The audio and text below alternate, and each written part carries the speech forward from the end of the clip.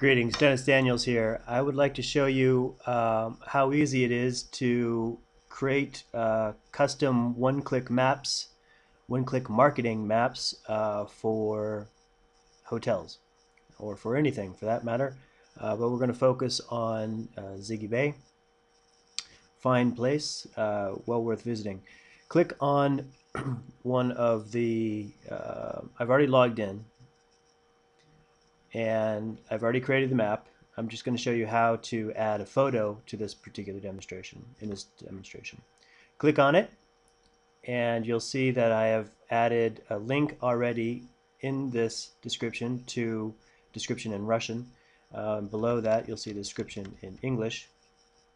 I want to add a photo uh, right underneath and it's as easy as clicking on the image, insert image icon, and I've already grabbed a photo from this location here. So I'm going to right click it copy image location and then I'll go back to my interface and control V to paste click OK and in a moment the photo will load. I click OK.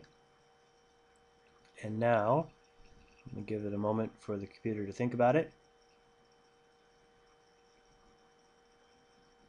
and when I click on it next time the image will be connected to this particular place.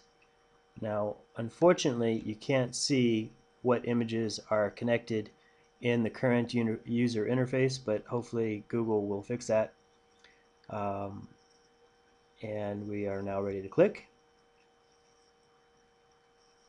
and when you click on the image on the link now you will see that there is the photo. Very easy. Um, I recommend um, this to for anybody. Thank you.